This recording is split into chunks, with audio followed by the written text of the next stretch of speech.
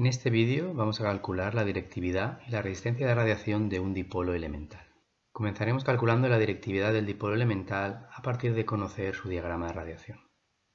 Posteriormente, partiendo de la densidad de potencia radiada, calcularemos la potencia total radiada por el dipolo y de ella la resistencia de radiación. Estos resultados los generalizaremos para dipolo de cualquier orientación. Sabemos que el vector de radiación de un dipolo elemental vertical orientado según el eje z es I por H por el unitario z. Sabemos también calcular su potencial vector A o el campo eléctrico radiado que toma la expresión mostrada en la pantalla.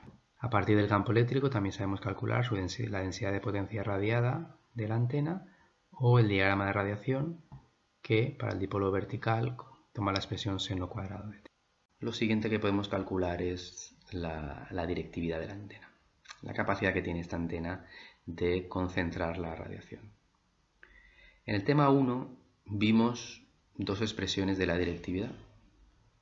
Una que era a, partir de la cual hicimos la, la definición, que era esta que veis aquí arriba, y esta es adecuada cuando disponemos de la potencia radiada o teniendo en cuenta que la potencia radiada depende de la corriente y de la resistencia a radiación, pues si tuviéramos también la corriente y la resistencia a radiación, esta es una expresión que nos, nos sería útil. Otras veces utilizaremos esta otra definición de aquí, que requiere conocer el diagrama de radiación normalizado T, que ya lo conocemos, lo acabamos de calcular, y además que sea fácilmente integrable para poder resolver fácilmente esta integral que veis aquí. Bien, en nuestro caso, si sustituimos aquí la expresión del diagrama de radiación normalizado, tenemos esta expresión de aquí. Como el diagrama es seno cuadrado, pues aquí nos aparece un seno al cubo. la integral en phi, al no haber variación con phi, se convierte en un 2pi, que simplifica el 4pi de arriba a un 2.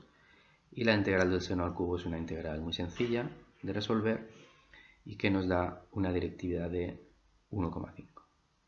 Es decir, el dipolo elemental tiene una directividad de 1,5, pues que es un, poco más que una antena isótropa que tiene una directividad de 1.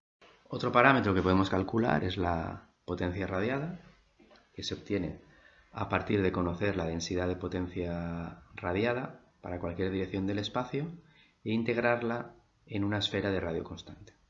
sustituimos la densidad de potencia radiada, que era esta expresión de aquí, el diferencial de superficie en coordenadas esféricas tenéis aquí la expresión, también lo sustituyo.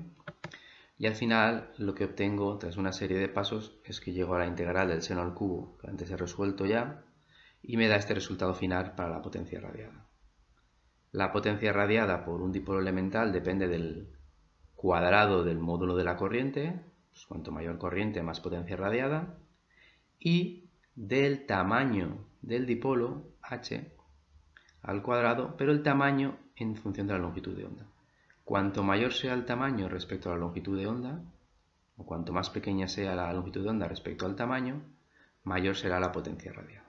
Pasamos a calcular ahora la resistencia de radiación, que recordar que era una resistencia eh, virtual que modela la potencia que radia una antena.